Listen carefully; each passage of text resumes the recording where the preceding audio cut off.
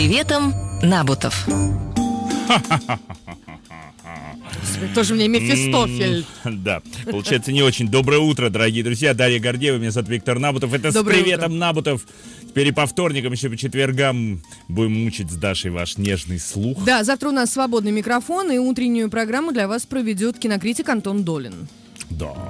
Главный мастер страны. А мы в четверг вернемся, и в пятницу у нас Николай Карлович А в субботу мы не вернемся. А в субботу будем отдыхать бессовестно, да. Как а раз сегодня... обещают дожди. А сегодня, друзья, в 9 часов э, традиционно независимый политолог Дмитрий Борисович Орешкин. Э, Самые интересные новости, исторические события. В общем, будет, как всегда, интересно. Да, я сказал так, да, по поводу, это по поводу информации как раз у Игоря Наумова о том, что более половины наших соотечественников допускают для себя перестать платить налоги любыми способами в это непростое время. Это, и в общем, их можно понять с учетом, мягко скажем, слабенькой э, государственной поддержки. Ситуация кислая почти у всех. А, И мне вот э, интересно, как в такое время всегда начинается такое соревнование, кто кого больше натянет между государством и обществом у нас, вы понимаете? Конечно, в цифровую эпоху и с приходом Мишустина э, шансы пободаться с государством за остатки каких-то денег, они э, сокращаются. Э, э, Да, и вот, э, значит, что любопытного, более того, нас еще, естественно, с вами будут подгружать. Вот смотрите, смотрите, какая любопытная история. Но нас, я имею в виду, это работодатели, прежде всего, малый и средний бизнес, э, который и так-то, в общем, почти помер. Даже Ро- Ростелеком, я сейчас читаю, э, у них новый отчет, что активность малого и среднего бизнеса, который пользуется многими, э, ну, трафиком через Ростелеком и разными сервисами, она вот си- сильно сократилась за последнее время, что понятно. Так вот, смотрите, какая история. Все вчера ее анонсировал. Эм, значит, на удаленной работе сотруднику надо возмещать дополнительные расходы, например, на электроэнергию, интернет, телефонную связь и компьютерные программы. Это и текст э, проекта поправок в трудовой кодекс о временной удаленной работе появится. Мож- может быть, появится такой эм, такой подпункт или А, целый подожди, раздел. Работодатель это будет? Да, да, это будет работодатель в данном А. случае, да. Значит, известия об этом пишут. Документ разработала Федерация э, как бы независимых профсоюзов России. На мой взгляд. Как бы. Такая странная организация, да. Значит, э, вот-вот ее собираются рассмотреть в специальной трехсторонней комиссии по регулированию социально-трудовых отношений. В среднем затраты могут составить около 3000 рублей на одного сотрудника. Значит, э, в документе прописаны и другие моменты. Например, что в доп. соглашении необходимо определить, какое время считается рабочим и когда нужно быть на А, связи, ну если вот вы работаете понеслось. удаленно. Да, да, понятно. Мгм. Так. Важный моментик. Хопа, случайно на горшочек отошел, там, понимаешь, чайку, чай- чайку заварить, звоночек пропустил, э, звоночек пропустил, штраф, штраф. Тут сейчас начнется у нас с вами канитель, ребята. Многие уже с этим столкнулись, кстати говоря, на удаленной работе, что то действительно то, то работника нет на месте, он куда-то вышел побегать, там в магазин за пивом отошел, то... Витя, всегда можно сказать, что у меня интернет пропал. Да, я согласен. Понимаешь? Я, сейчас я выйду и переподключусь, конечно. Вот. э, э, Но есть и обратная сторона медали, что работодатели безостановочно названивают и пишут сотрудникам э, в, так сказать, не- в нерабочее время, там, по ночам или поздно вечером и, и так далее. Просто разрывается телефон. Так, э, значит, что еще? А, так, а говорить, когда и как сотрудник будет отчитываться о проделанной работе. По каким каналам коммуницировать с работодателем? Также в законопроекте есть указание, что зарплату удаленного сотрудника нельзя снизить, если он справился со всеми своими заданиями. Кроме того, документ предлагает выделить категории людей, имеющих преимущественное право на удаленку. Это как это? Привет, работодатели! Это сотрудники с детьми младше 14 Ах, лет, вот оно 14 что. лет. Да. Инвалиды, пенсионеры по возрасту, студенты, очники и люди, ухаживающие за инвалидами или длительно болеющими родственниками. То, что мертво умереть не может, про бизнес пишут наши слушатели. Да, более того, вот смотрите, эксперты уже оценили законопроект и говорят, что разовые затраты при таком подходе могут вообще доходить до 100 тысяч рублей для некоторых работодателей на одного Не кисло, сотрудника. да. А, значит, э, потому что может потребоваться покупка компьютера, если вы переводите человека на удаленку. Правильно? Ну, в среднем они считают там 50 тысяч рублей. Может быть, Ну, это по максимуму, там, ну, понятно, что можно купить компьютер дешевле домашний, там раза в, в 4. Но тем не менее. А можно попросить скинуться других сотрудников, Можно. как господин Беглов Потому что работа в офисе, судя по всему, станет премиальной работой только для руководства, потому что, ну, ты понимаешь, да, что происходит, как- какие тенденции на рынке. Косты большие, люди сейчас начнут сокращать офисы, руководство будут сидеть, приезжать, это будет как бы премиальный сегмент, а исполнители, они будут получать задания по удаленке, будут сидеть и фигачить дома. Что, в чем, в общем, есть а, определенная сармяга, на мой взгляд. А, а, но, тем не менее, это вот уже многие говорят, что Не, это неизбежно тенденция. для Слушай, ну, большинства бизнесов. Послушай, уже Цукерберг объявил о том, что после окончания пандемии 40% сотрудников Фейсбука останутся работать на удаленке. Это отдельный разговор. Вообще, как работать на удаленке. Я вот, например, у меня это плохо получается. Многим нужно какое-то организационное начало. Можно же и спортом заниматься дома. Сейчас вот многие, я думаю, что научились. Сказали Даже два, не просто на... два жирненьких жердяев Да, да, да, дома. Но почему-то люди ходят в тренажерный зал. Ну, просто аж прийти там себя показать, на девчонок посмотреть. И в целом как-то какое-то движение. Процесс похода в тренажерный зал это целый ритуал. Для многих он ежедневный. Вот, а такой элемент социализации. Тем не менее, значит, вот смотрите, э, покупка компьютера, устройство с функцией принтера и сканера, кому надо 8 тысяч рублей. Гарнитуры 3 тысячи рублей, специализированных программ, антивирус Skype для бизнеса специализированные, да-да-да-да, средства контроля интернет-трафика и прочее, прочее, прочее. Вот такие вот Доброе утро, приветики. друзья. Ну, я не знаю, как к этому относиться, в этом есть определенная логика, наверное, тем не менее. Работодателям привет. Значит, давайте теперь коротко. Значит, в следующем часе Орешкин.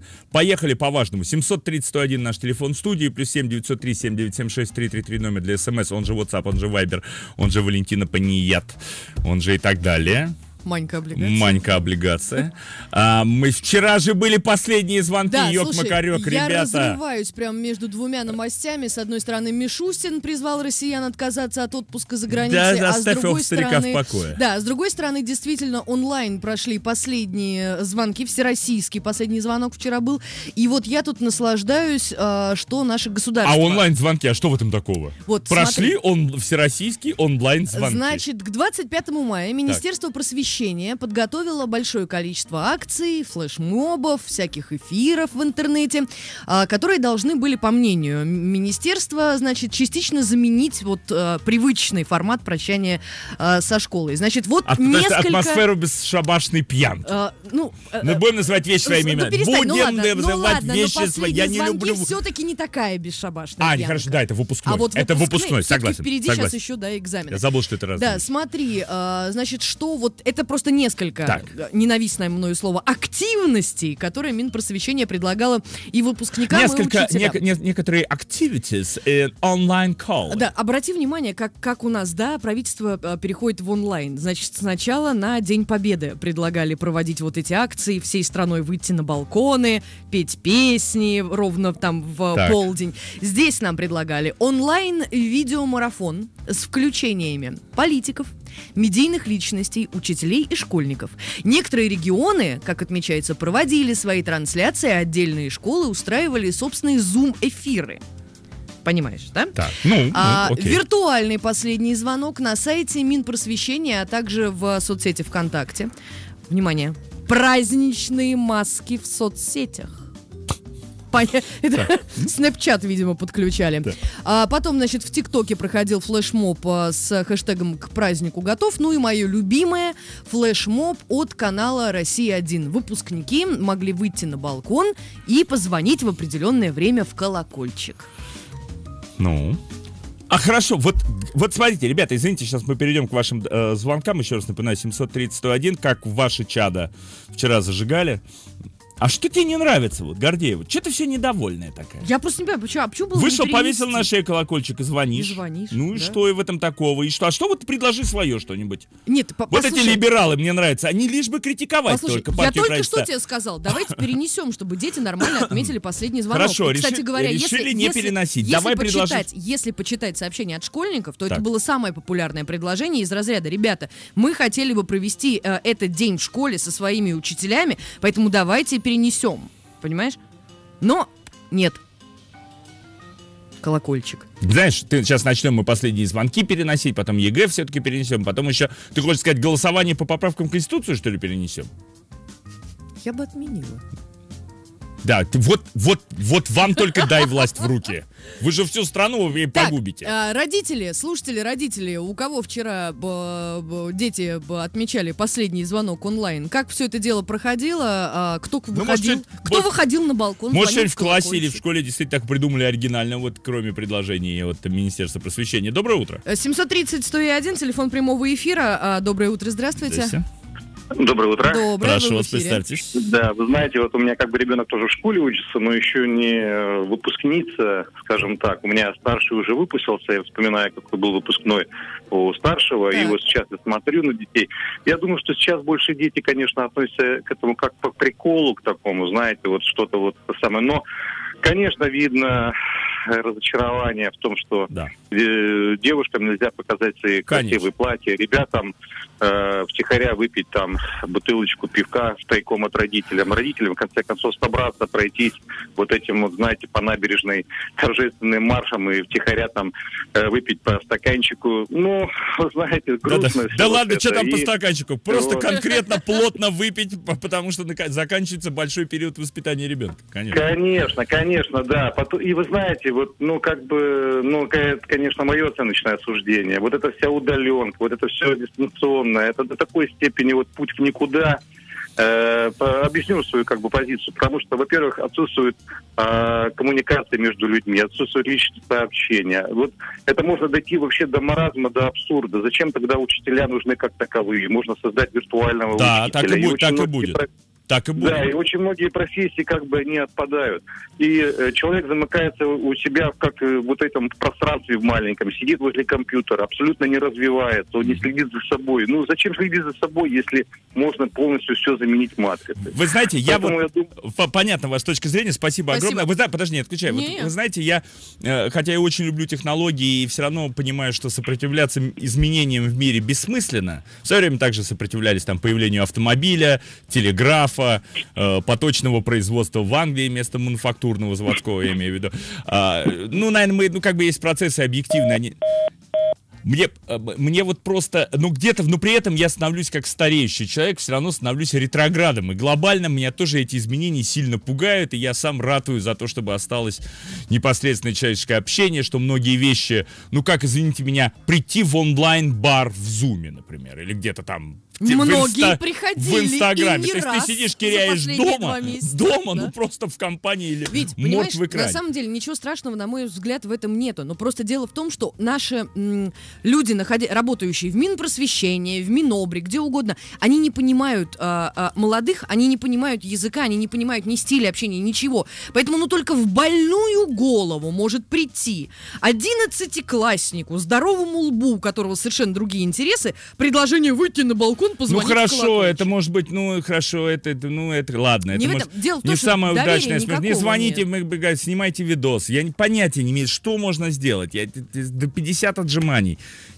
все равно, ну как бы, ну условия понятны, все должны находиться как бы в изоляции, все равно полноценного последнего звонка не будет. Я соглашусь, что, наверное, оптимальным был бы перенос, но сейчас, видимо, стараются ничего особо Ну, не, не переносить, не иначе мы так людей. дойдем до переноса голосования за- по, по поправкам в Конституцию, а это вот, этого допустить никак нельзя, как вы понимаете. А, нам Под пишут- это будут все, под это будут все подтачивать, в том числе и цифры статистики, я Сын, уверен. сын выпускник этого года, сообщение WhatsApp нифига не отмечали вчера. В Казани 30 мая будет. Надеемся, что при этом выпускные не отменят. Так, доброе утро, здрасте. Доброе... Нет. Ага. Так, а, значит, истина посередине. Я пришел к мнению, э, э, э, хотя... Хотя еще пять лет назад считал, что школу не нужны, а нет, вот такое какое-то сообщение странное. Так, был последний А звонок школа у не на- Я сына. думаю, что речь идет о все-таки о переходе на ну, ну, многие переходят сейчас на домашнее там вид образования, дистанционное образование, когда ты можешь экстерном там кто ну, по, по головасти это последние два класса. Вот, например, у меня есть есть такой пример перед глазами, когда девушка вот она в 15 лет поступила в высшую школу экономики, очень головастая, последние ускоренно закончила последние два класса и за и училась училась, э, ну, основная часть учебы была у нее удаленно, да. Кроме Алексей, смотри, Алексей из Нижнего пишет. Был последний звонок у сына, 11 класс. В Ютьюбе выступила тетя из Минобра. Дети в форме сидели у экранов мониторов по домам. Эффекта праздника не чувствовалось, но очень тронуло вечером онлайн-собрание детей, родителей и классно- А. э, классного руководителя. Очень душевно пообщались, по удаленке попили чаю. Даже всплакнули. Слушай, а давайте посмотрим на это дело с другой стороны. Ну, в конце концов, у всех у нас были последние звонки выпускные. Как в каждый, у каждого в свою историческую эпоху. У меня там, у нас в середине 90-х, у меня в 95-м году был. Там, у Даши чуть попозже, у кого-то там в трудные 90-е, у кого-то 80-е и так далее. Неважно. Все примерно вокруг этого. Личное общение, там выпили, девчонки красивые пришли, парни пришли, принесли цветы, подарили учителям, ля-ля-ля-ля-ля-ля-ля, музычка, ну все понятно, дело молодое. А ведь у нынешних вот выпускников этого года уникальный последний звонок. Это правда, да. Такого, ну, дай бог, никогда в обозримом будущем, во всяком случае, не будет. С другой стороны, отнесите, давайте отнесемся к этому, вот как, в конце концов, встретиться с одноклассниками в школе, но еще будет выпускной, дай бог, чтобы он прошел в нормальном, полноценном. Ну вот смотри, нам пишет, э, знаете, э, я э, всегда плевал на все эти школьные мероприятия, а вот мой сын, одиннадцатиклассник, страшно расстроился. Я уверена, что дети поделились как раз на два лагеря. Кому-то было наплевать, а кто-то вот так же, как мой сын, почти до слез. Вот такие вот комментарии приходят. И, внимание, Рома из Перми нам пишет. «А, у меня сын одиннадцатиклассник, ему вообще не интересен последний звонок, и тем более онлайн. Но деньги на последний звонок, две с половиной тысячи, сдали. Сдали. Молодцы. Кстати, у меня в этом году, вот, э, знаете, что про, про св- свою историю, 25 лет выпуска. Как раз в 95-м году я закончил школу. И так получилось, что в тот год документалисты ленинградские, замечательные, снимали документальный фильм, назывался «Дети перестройки». Кто О. поступил в 85-м году, а закончил в, в, Да. э, в 95-м. И как раз это была история, так получилось. В Питере на примере вот как бы жизненного пути наших двух классов в нашей школе. И у нас был последний звонок, и на выпускном они снимали, значит, как мы там гуляем, что-то по памятным местам Ленинграда ездим, ля-ля-ля, целое документальное кино. Где-то в интернете оно даже есть. Вот. И самое смешное, что у моей одноклассницы, близкой подруги, с которой мы общаемся тесно, в этом году нашу же школу заканчивал ее сын. Да ты что? Да, и они так готовились, говорят, давай сделаем, ты нам поможешь, там объяснишь. Я им придумал форму, как мы сделаем похожий фильм, а, только уже про детей, про следующее поколение, тоже наша школа, там, ну, это все, все. И ты представляешь, себе, такой облом случился. Ну, вот видишь, Я там чуть ли неделю разрабатывал концепцию, что как надо снимать, там какие-то денег даже мы насобирали на это дело. Вот такой был провал. Нет, я, понимаешь, я ставлю себя на место вот э, этих детей, одиннадцатиклассников. э, вот я как раз отношусь к тому типу, вот про который слушатель написал. Мне наплевать. Мне никогда ни вот нигде ничего не дрогнуло. Ни последний звонок, ни выпускные. Мне лишь бы быстрее просто не видеть этих людей, просто свалить. Понятно. Вот, ну, ты понимаешь? социопат, понятно. Да, Что ты? я социофоб. со- Пока я социофоб. еще не социопат, Социофоб. но я Ну, уже ты на близка пути, к этому, да. Вот. Но тем не менее, действительно, для большого количества де- важно. Девочки, Слушай, да, ну важно, важно.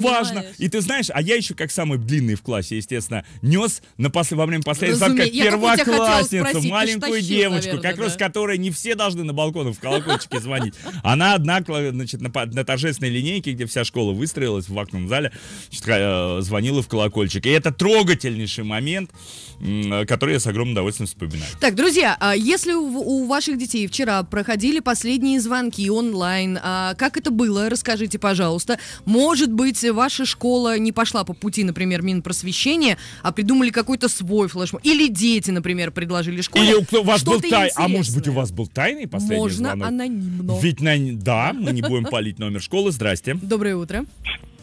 Алло. Здрасте, да, прошу здравствуйте. вас. Добрейшего утра вам. Привет, привет. Курск, Олег. Э, Здесь у нас вообще отказались э, 25 мая участвовать в этих мероприятиях. И э, комитет э, образования и науки э, Курский э, направил рекомендательное письмо в школы, где рекомендовал э, объединить последний звонок и выпускной и Ага. провести его таки в режиме онлайн. Да елки-палки. Да онлайн и- или и в реале? Или в реале? Да. В некоторых школах э, пошел разброд и шатание. Уже мне известно, что в некоторых школах успели переругаться и родители, и учителя, потому что все-таки надеялись на что-то другое, пытались что-то сделать, но теперь все идет, э, в общем-то, как-то не так. Стоп, подождите, объясните мне ситуацию. Я, бы- я просто выпадаю, потому что у меня еще нет детей подходящего возраста. У нас господин Путин объявил, что 29 числа у нас будет ЕГЭ. Соответственно, выпускной 24-го только. 29-го. 29-го. Выпускной, выпускной будет, ну, после экзаменов. Правильно?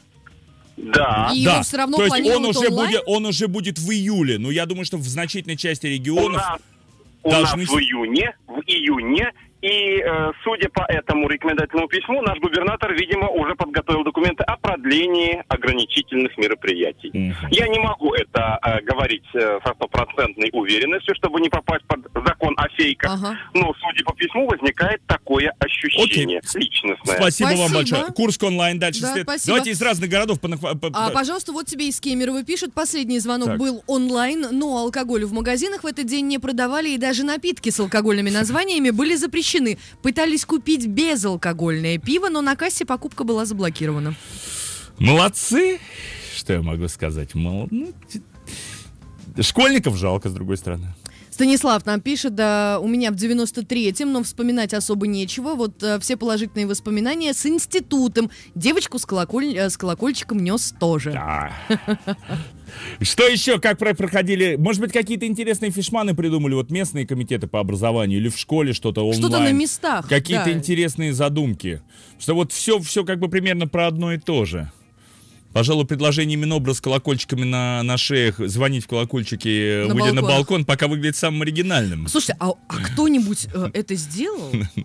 Вот мне интересно. Ну, напишите, То есть, нет, позвоните. одну секундочку. А, Объясни, пожалуйста, когда мы смотрим на кадры из Италии, из Испании, где люди сидят, поют песни, Так там я друг именно друга с этой целью туда-сюда, это нормальное и нас- нас единение людей, а наши не могут школьники выйти в колокольчик позвонить. Вот те бы лишь бы критиковать. Послу- я спросил, Набутов, Так, ёк макарёк, да. как вы Это моя выражаетесь. вторая фамилия. Я, я именно поэтому и спрашиваю, кто это сделал, потому что мы все умиляемся действительно, вот на- как, как в Италии по вечерам соседи все выходили, пели. Ну а почему нет-то? 730 101. А, в основном нам пишут про алкоголь, хвастают. А в Саратове вчера алкоголь продавали. А прошлые несколько лет нет. А, друзья, напоминаю, что у нас также работает видеотрансляция на канале Серебряного дождя в YouTube. а, 730 Где можете посмотреть 101. наши опухшие Да. рожи. Э, Доброе утро. э, Доброе утро, здрасте. Здравствуйте. Прошу, вы в эфире. прошу. Очень рада вас слышать. Ваша давняя фанатка Прекрасно. и тайно влюбленная Виктора. Очень тайно. Очень, да, да. Шибко заколдованная, да. Да. Очень- Я очень долго работала психологом в школе. Ага. И сейчас моя мама директор школы. И, если честно, мы обе с ней очень рады, что в этом году нету последних звонков. Потому что в прошлом году, например, мы до пяти утра развозили в дупель пьяных выпускников, сдавали их на руки родителям, потому что они были ну, совершенно неадекватные. А вы именно звонок А, и- имеете в виду или выпускной? Вот мы все-таки дифференцируем. Но оказывается, что последний звонок это все-таки перед Поспокойнее экзаменами. мероприятие, Такое да? спокойное мероприятие. А вот Вы выпускной, ну знаете, тут гулял. и там, и там. И там, и там. Ага. Дети всегда найдут повод для того, чтобы расслабиться и повеселиться. И последний звонок был прекрасный. Да, была эта чудесная девочка со звоночком. Было все так миленько. Но вечером они собрались и это дело дружно отметили. И поэтому, ну, а отметили они на территории школы, естественно, никто об этом не знал, но вечером поступил звонок, что у нас, значит, собирается на территории школы, там, где вот спортивная площадка, Так, собирается, значит, толпа пьяных веселых э, да, Так, выпускников. приехали менты. И Классика жанра. нет, нет, мы не вызывали никого, мы решили сами разобраться и потихонечку развозили их домой, разносили их домой, вызывали родителей. Ну, то есть, э, чтобы и, как сказать, не портить жизнь перед экзаменами детям. Вот. И на самом деле в этот раз все как-то так спокойно и тихо.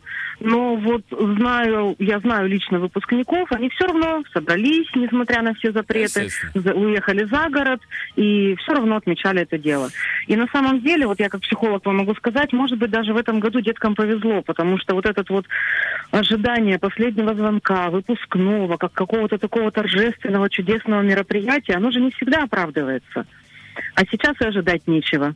То есть они вот в реальность окунулись, и с этой реальностью должны как-то и бороться. Но Тем не- более, что ЕГЭ, ЕГЭ отменили по некоторым предметам, Ага. и теперь они, да, теперь им попроще. Им попроще. По-моему, два предмета, да, сейчас только в э, Да, ЕГЭ? да, русский и математика. Спасибо большое. Спасибо. Да. Но, вы знаете, мне кажется, что есть и обратная сторона в этой. Еще вот один негативный момент. Что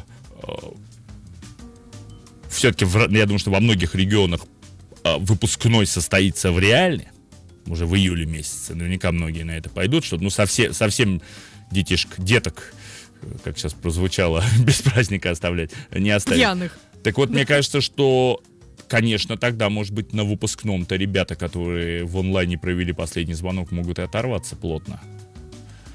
Просто с удвоенной энергией. Витя, Не знаю, я, я давай не будем лицемерить. Когда было по-другому? никогда. Ну вот что это вот за... Мы такими не были, па-па-па. Ну, ну всегда так было. Да просто память плохая с возрастом. Ой, да прекратите. Легкие Ой, моменты шо надо, вы прекрасно помните, Виктор Кириллович. Да. А, плюс семь девятьсот три семь девять семь шесть три три три. Номер нашего смс-портала WhatsApp и Viber. 730 101 Кстати, телефон прямого Э, эфира. Короткая информация по коронавирусной тематике и нашим ограничениям. В ближайшие два месяца требование об обязательном ношении масок будет сохранять свою силу. И, ну и перчаток, соответственно. Сообщила накануне э, глава Роспотребнадзора Анна Попова. Цитирую, главное, что необходимо будет помнить, надо будет продолжать соблюдать требования. И, скорее всего, если мы говорим о ближайшем месяце или двух, то матчный режим нам придется соблюдать. Нам придется обязательно соблюдать требования по чистоте наших рук, по чистоте помещений, по специальной обработке и обеззараживанию посуды, целый ряд, ряд других, а, отметила она в ходе брифинга. Попова также подчеркнула, что россиянам придется еще очень долго соблюдать подобные требования, которые диктует пандемия коронавирусной инфекции.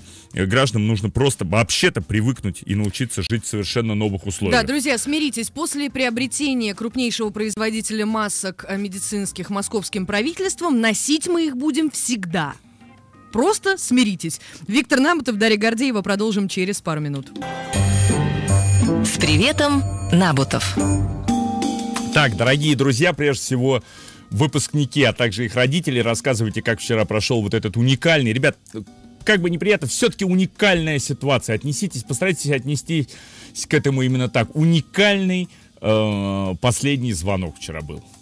А, кстати говоря, Александр Как из Москвы отмечает, учебный год уникален. Осенью и зимой эвакуации через день. Помнишь Да. вот эту вот эпидемию эвакуаций? Весна, удаленка, колокольчик на балконе, выпускникам будет что вспомнить. Абсолютно. Ну, год, год знаменательный во всех смыслах, я думаю, да. Посмотрим, как закончится. Високосный. Как говорят, знаешь, вот и увер- ви- уверуешь в переселение лиц, э, душ, Душ, помнишь, да? Ты к тому, что, ну, какой-то же у- ужас. Дай бог, переживем, все будет в порядке, ребят. Значит, что еще любопытного? Я буду вам в проброс какие-то любопытные новостишки рассказывать, которые касаются нашей жизни. Из хорошего, пыта- пытаюсь наковырять что-то хорошее. Значит, все крупные авиакомпании, Аэрофлот, СЭО, Уральские авиалинии, ЮТР, ну, то есть это, в принципе, все авиакомпании, которые смогли пережить это сложное время, резко снизили цены билетов на ию- июнь из Москвы в крупнейшие города страны, пишут ведомости. А, Значит, многие эксперты связывают с тем, что возобновит полет лоукостер «Победа». А, в частности, цены на билеты в Ростов-на-Дону из Самары, куда... а, в- так, так, так, сейчас одну секундочку. Так, так, так, так, так, так. а, Аэрофлот на 30%, а, S7 на 5%, ЮТР ЮТР на 10% и так далее. Ну, в общем, какие-то хотя бы положительные моменты. Тут я что-то запутался, очень много цифр, но есть снижение такое ощутимое. А, так, что еще хорошего? Ну, все это как раз на фоне упомянутой новости о том, что накануне Мишустин попросил жителей России провести отпуск внутри страны, то есть не выезжая за границу. А, Он отметил, что некоторые страны заявляют уже о снятии карантина. Так, например, а, Испания отменит карантин для иностранных туристов с 1 июля. А, Господин Мишустин сказал следующее. Прошу наших граждан не торопиться. Да, в борьбе с коронавирусом достигнуты определенные успехи, но мы помним, что коронавирусная инфекция была ввезена из-за границы. Мы считаем целесообразным воздержаться от туристических поездок за рубеж. Лучше и безопаснее провести отпуск в своей стране. Простите, пожалуйста. А, ну и... а, Слушать высказывания наших высо- больших чиновников становится с каждым днем, но уже даже не смешно. В это этом же заявлении он, хочется. кстати говоря, отметил, что с 1 июня во многих регионах возобновят работу санаторий. Правда, те, у кого кого есть медлицензия. Медлицензия. Да. А, я что хотел сказать, я напоминаю, что даже Китай, откуда вся эта бяка пошла, чуть ли не месяц назад сам закрыл границы с Россией, потому что И уже давным-давно... больницы Абсолютно, потому что границе, давным-давно вся коронавирусная инфекция у нас внутренняя. И как раз, может быть, полезно будет свалить отсюда, чтобы не цепануть ее в более бл- благополучные страны, которые раньше пик эпидемии прошли. Вопрос, что ни у кого нет денег, господин Мишустин, не переживайте, никто никуда не поедет.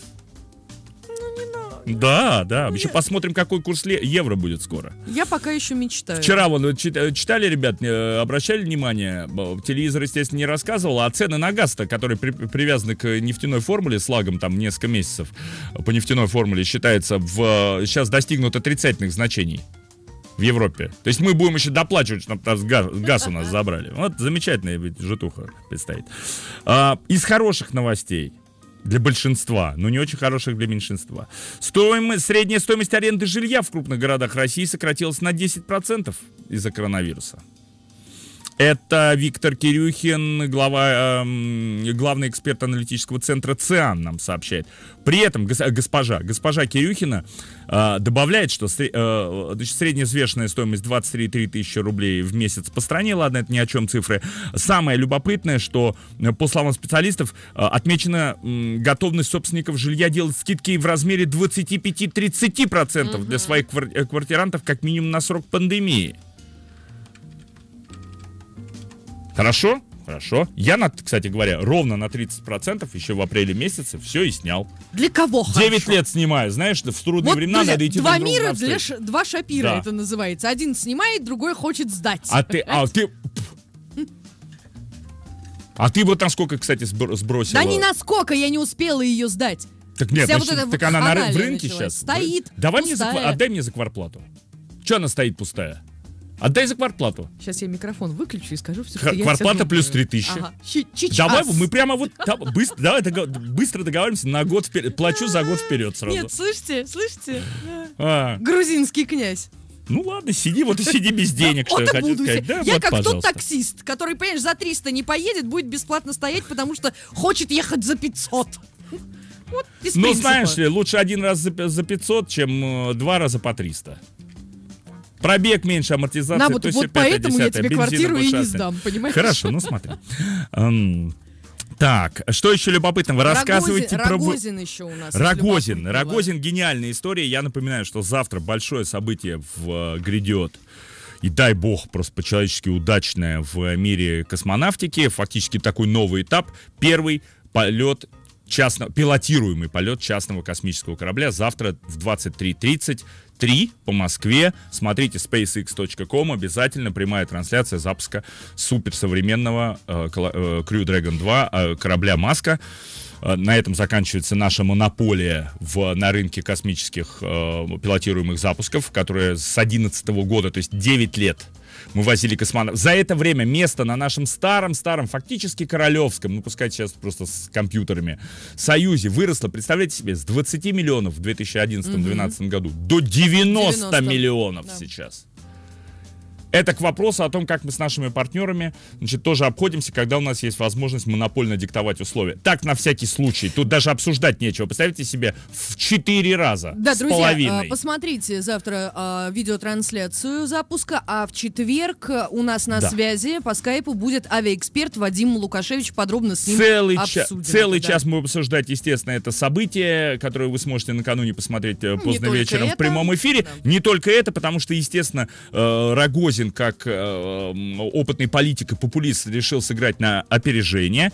И не, совершенно неожиданно накануне э, его большое публичное заявление прозвучало о том, что России необходимо немедленно начать, неме- прямо сегодня же, Еще вчера! начать работу над новой орбитальной станцией. Не, не над новой орбитальной станцией.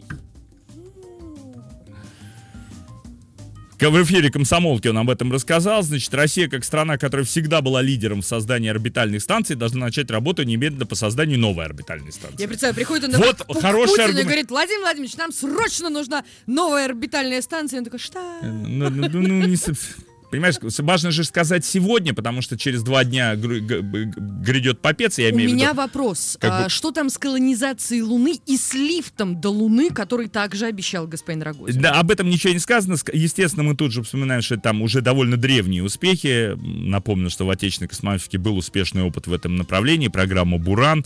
То, что было создано нашими великими предками, опередило свое время. «Буран» совершил посадку на аэродроме юбилейной Байконура, но потом ему не было найдено применение. Просто очень дорогие запуски, как и само создание. Даже американцы от шаттла за- отказались, прежде всего, потому что он коммерчески чрезвычайно невыгоден был, а не потому, что было две там тяжелых аварии с ним. А, Значит, а, также глава Роскосмоса отметил, что в ближайшее время решится вопрос о том, будет ли она посещаемой или обитаемой, а, международной или национальной. Техническая сторона этого дела должна быть начата немедленно. Тех- Послушайте, вот комментарий главы Роскосмоса. Техническая сторона этого дела должна быть начата немедленно. Это я в эфире радиостанции могу так высказываться. Но человек, который отвечает за космонавтику, видимо, не очень много в ней понимает. А, ну вот. Ты в общем, знаешь, короче, такая забавная станция. Мы обсудим наши перспективы космические в контексте просто тотальных успехов американцев, которые ушли уже не, не, не- недосягаемо вперед. Да, в этот, на этом фоне э, под видеотрансляцией на канале в Ютьюбе пишут, э, вот Ксения нам написала, э, «Ха! Ха. Рогозин! У нас в Тверской области бобров побуждают строительству плотин». Плотин. Витя, и это серьезно. Ты заходишь в Яндекс, а там написано, что бобров привлекают в Тверской области для борьбы с торфяными пожарами. Да, ребят, ну, мне кажется, мы уже вошли в Ребят, такой спасибо конкретный за эту новость. пи- пике идиотизма наших ведущих чиновников, этих публичных высказываний. А, ну, зато- а есть куда более серьезное. Есть, ну, нет, есть чемпионы вообще по этому делу, до которых нам далеко. Это Се- Северная Корея. Ты возьми пока звоночек последний, по- последний звоночный. Последний звонок. А я пока короткая информация про Северную Корею, ко- Северную Корею, которая, конечно, славится своими потрясающими м, историями. Это моя любимая новость. и мифами вокруг дня. э, удивительных способностей их лидеров. Ну, нет Кима, нет Кореи Северной, я имею в виду. Вы знаете, это мы у них как бы слямзили этот тезис. Так вот, в Северной Корее, значит, э, на днях произошло невозможное, ребята. Одна из крупнейших газет страны, ну, основная, Родонг Синмун, признала сквозь зубы, очень обтекаемо, правда, это сделал, но тем не менее, С формулировкой вполне возможно, что Ну. может быть и да. Да, нет, нет, да и да. Что Ким Ир Сен, отец-основатель северокорейского государства, человек, от дня рождения которого ведется летоисчисление Северной Кореи, я напоминаю. Более того, Ким Ир Сен является, Северная Корея это единственная, я напомню, некрократия мировая, где Ким Ир Сен является э, бессменным, э, бессмертным президентом страны. Насколько я понимаю, именно так звучит его титул. Так вот, все-таки при всех своих удивительных способностях, как и все Кимы, Ким Ир Сен не владел техникой чукчбоп. Буквально складывать пространство. Или в переводе на человеческий язык не умел телепортироваться. Дело в том, что согласно официальному мифу, который десятилетиями транслировался из телевидения, Ким Ир Сен использовал технику телепортации для уничтожения японских захватчиков во время Второй мировой войны. Я расстроилась.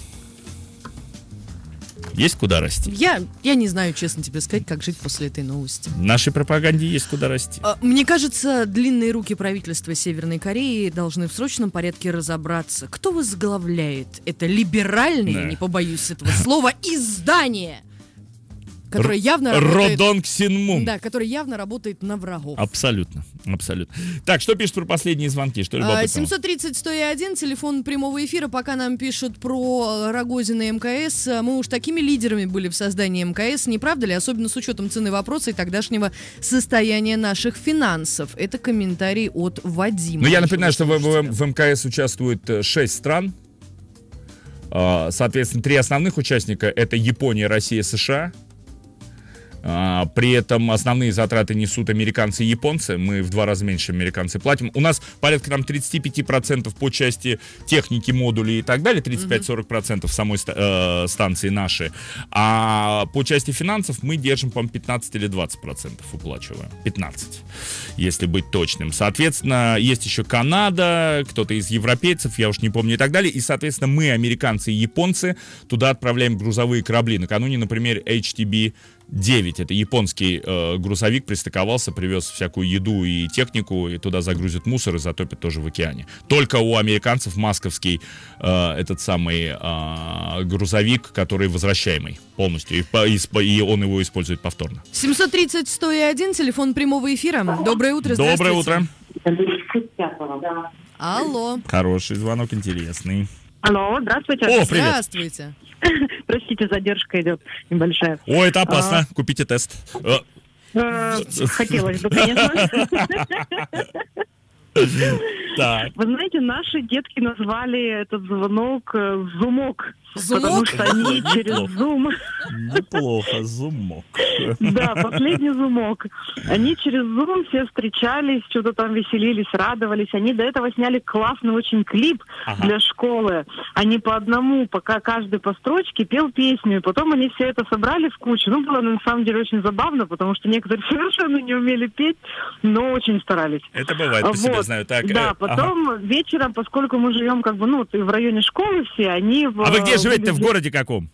Красноярск. А, в Красноярске, да-да-да. Так. Да, они вылезли все окна, кто-то к соседям пошел, те окна, которые выходят на сторону школы. Как только стемнело, все начали запускать салюты, кричать, шарики какие-то. Ну, то есть было на самом деле так прикольно. Вот, и те люди, которые, ну, вот просто окружающие, они так радовались, они хлопали в ладоши, там, что-то дети вылазили на балкон, кричали, там, ура, ура. На самом деле классно было. Были поздравления от учителей, от наших, которые в младшей школе еще, вот, ну, совсем маленьких деток наших брали. Вот, от директора было такое душевное поздравление, что мы прям расплакались. Ну, вот как-то так это все душевненько прошло, и вот, ну, мы нисколько не переживаем в этом. Это такая память, это такой эксклюзив, потому что, ну, вот на нашей памяти это вообще первый раз в жизни, чтобы вот так вот все это весело проходило, и классно, и задорно. В общем, это как относиться, это все зависит от отношений. Если вы сидите дома и грустите, то вам вообще никто ничего не поможет. А если вот так вот взяться и придумать, как можно весело это все ну, переоформить в такой онлайн-режим, то можно и из ЭГ сделать прекрасную концертку, которая всем понравится и поднимет настроение. Сложно не согласиться. Спасибо, Спасибо. большое за этот звонок.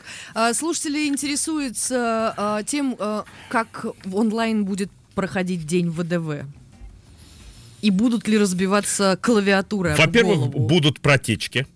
Потому что нужно за- заменить фонтаны, а во-вторых, будет поломано немалое количество клавиатур и мониторов. Плюс А, 7 причем более того, 903 я 797 советую в этот день с супругом, девушкам, я имею в виду, покинуть на всякий случай помещение под любым Идти благовидным нарушать карантин на предлогом, улицу. потому что клавиатуры будут в данном случае рушиться не о голову случайных прохожих в центральном парке, а вашу. Э, Друзья, оставайтесь под серебряным дождем. У нас еще есть несколько минут для того, чтобы пообщаться с вами. Звоните, Господи, пишите. День ВДВ в удаленке и еще запрещают продавать алкоголь, вот как сейчас.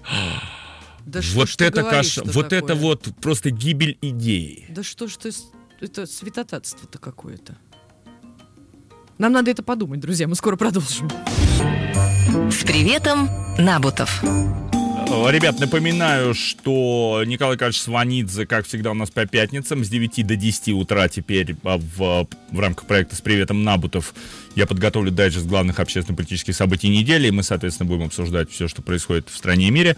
А в следующем часе у нас э, независимый политолог Дмитрий Борисович Орешкин с э, несколькими интересными такими ключевыми днями, э, темами последних дней. Я, кстати, если можно, э, с твоего позволения, от- отрываясь от последнего звонка, к- короткую историю, мы тоже ее с Орешкиным эм, обсудим обязательно, потому что пройти мимо невозможно. Это удивительным образом ставший известный результат опросов ФСО, Федеральной О, службы да. охраны, который, результат которого э, в своем э, документе, докладе э, озвучивает омбудсмен по делам бизнеса Титов. Так вот, выяснилось, что они проводились, они опрашивали предпринимателей, адвокатов, прокуроров, правозащитников и ученых-юристов о том, насколько бе- безопасно вести бизнес в России точки зрения взаимоотношений с правоохранительной системой во всех ее видах.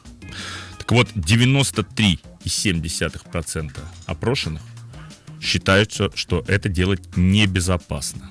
Небезопасно вести бизнес. Это все, суммарно по всем 74%, а среди предпринимателей 93,7%. Э, Значит, э, недоверие бизнеса к правоохранительным системе и судебной системе достигло абсолютного рекордно, э, рекордных значений. Системного прорыва в решении проблем бизнеса в уголовно-правовой сфере в очередной раз не произошло, резюмирует Титов. Следствие и суды продолжают арестовывать предпринимателей по делу и без. Оперативные мероприятия и следственные действия по-прежнему проводятся с изъятием документов и электроники. Имущество предприятия изымается или арестовывается. В результате предприниматели сообщили, что после уголовного преследования, даже если они оправданы, их бизнес был полностью или частично разрушен. Об этом заявили 84%. Потеряли репутацию 58%, здоровье 50%. Еще 34% сообщили о потере большей части активов, но при этом бизнес Причем это опрос ФСО, продолжал фунт- да? фунтоциклировать. Да, вот такая вот чудовищная абсолютно статистика. Наши слушатели пока пишут вот э, сообщение от Вячеслава из Пермского края. Последний звонок онлайн – это, конечно же, наше ноу-хау. Но наши власти пошли немного дальше, так как в этом году не очередные выборы губернатора Пермского края. Так, Так. вот мы будем первооткрывателями в онлайн-выборы через госуслуги. Досрочные выборы будут по электронной почте или почте России. Да. Ты знаешь, приходят нам С и такие неограниченным сообщения. возможностью махинаций. Неважно, как голосуют, важно, как считают к электронной системе, которая будет опробована, правда, не во всей стране, а в нескольких регионах, в том числе в голосовании по поправке в Конституцию, которые, судя по всему, там на 99,9% состоятся скоро. Эм, э, так сказать, вот это, пожалуйста, рисуй, что хочешь. Пишут нам слушатели, которые Никаких застряли в Таиланде. Без поддержки и помощи находимся в сложной ситуации. А нам сказали, что рассмотрение отказа, видимо, будет длиться месяц. Как тебе? Отказа... О, о- о- о помощи люди написали. А, ну вообще даже должны, по-моему, если были обратные билеты, выплачивать какие-то там ежесуточные компенсации небольшие. Пишите, друзья, Просто мы чтобы следим хотя за бы этой было на, ну, историей. там, на, что, на что прожить. Дмитрий Борисович Орешкин через несколько минут появится в эфире «Серебряного дождя». Напоминаю, видеотрансляции на нашем канале в YouTube и плюс 7 903 797 6333 для ваших комментариев. Виктор Набутов, Дарья Гордеева. Оставайтесь с нами.